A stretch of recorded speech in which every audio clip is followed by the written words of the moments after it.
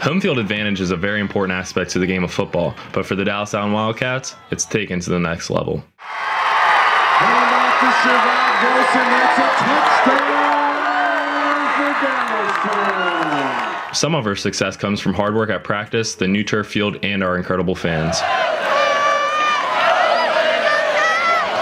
But the majority of the energy comes from the team manager, Tristan Schilling, who never misses a home game. However, Tristan isn't the ordinary team manager. When he was born, Tristan was diagnosed with cerebral palsy. His condition is a neuromuscular condition that prevents him from doing all the things that a lot of people take for granted. From a young age, Tristan always had a love for the game of football. He has loved football from a very early age. He loves just the competitiveness of it, the activity, the motion, the movement, the excitement. Yeah! Those guys love it too just because of the passion I have for the game.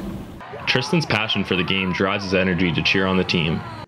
I talk to the guys and I kind of give them have talks, you could say.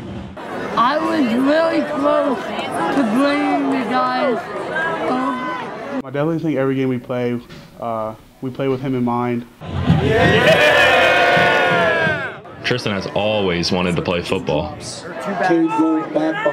I watched football for a long time, and I just think that if I don't get to do anything like big for the team, I'm happy just sitting on the sidelines and watching. Little did he know that his dream of scoring a game winning touchdown would soon come true. I've always dreamed of scoring a touchdown. Well, we found out Thursday that Coach Myers talked to Southwestern's head coach about putting Tristan into the end zone because it's something that he's always wanted to do. Our offense lined up against their defense, and we ran 36 ISO, I believe, and Tristan was at tailback and got the ball and scored a game-winning touchdown.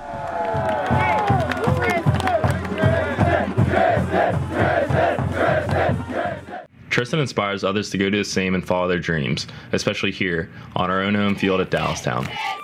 For WCAT TV, this has been Franklin Marquet reporting.